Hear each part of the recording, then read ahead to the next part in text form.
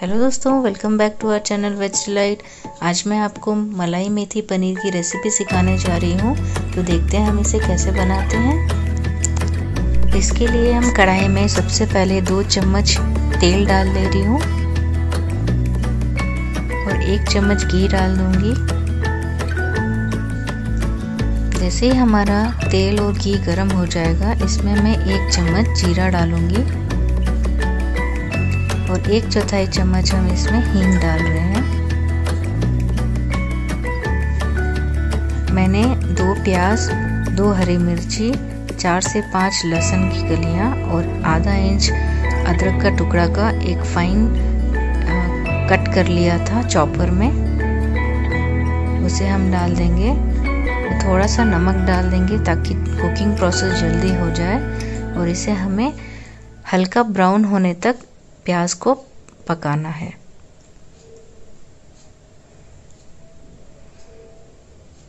जब तक हमारे प्याज पक रहे हैं, मैं यहाँ पर काजू लिया है मैंने, आठ काजू और कुछ एक चम्मच मेलन सीड दूध में भिगो के रखा था, इसका पेस्ट तैयार कर लेंगे। ये हमारे प्याज हो चुके हैं। अब इसमें मैं आधा कप मेथी डाल रही हूँ, इसे मैंने अच्छे से धो लिया है और इसे बारीक कट कर लिया है। इसे हम प्याज के साथ भून लेंगे करीब एक मिनट, एक से दो मिनट तक। इससे कड़वापन चला जाएगा। अब इसमें हम कुछ सूखे मसाले डाल देते हैं। यहाँ मैंने एक चम्मच कश्मीरी लाल मिर्च, आधा चम्मच हल्दी पाउडर, एक चम्मच धनिया पाउडर और आधा चम्मच मैंने यहाँ पर जीरा पाउडर लिया है। इसे भी हम एक मिनट के लिए भून लेते हैं मसाले को।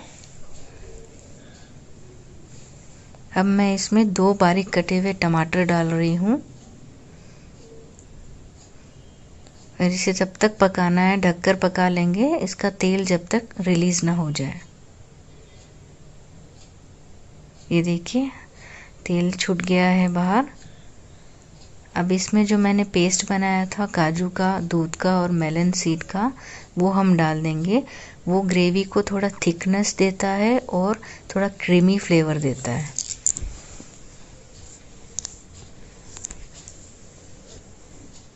इसे एक अच्छा मिक्स दे देंगे।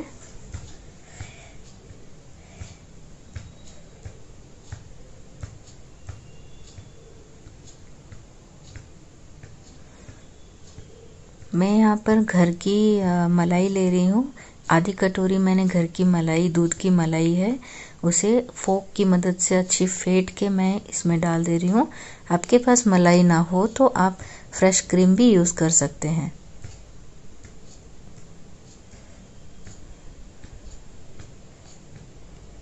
अब हम यहाँ एक चम्मच गरम मसाला डाल देंगे। और इसमें पनीर डाल देंगे। पनीर आप अपने हिसाब से कैसे भी काटिए, बड़ा, छोटा। यहाँ मैं आधी कटोरी पानी डाल रही हूँ। इसकी कंसिस्टेंसी बराबर करने के लिए, ना ज़्यादा पतली, ना ज़्यादा गाढ़ी। इसे हम ढककर दो से तीन मिनट के लिए और पकाएँगे। फिर इसे हम सर्व कर लेंगे। मलाई मेथी पनीर रेडी हो चुकी है। अगर आपको मेरी रेसिपी पसंद आई हो तो प्लीज़ लाइक शेयर सब्सक्राइब ज़रूर करिएगा। Bye bye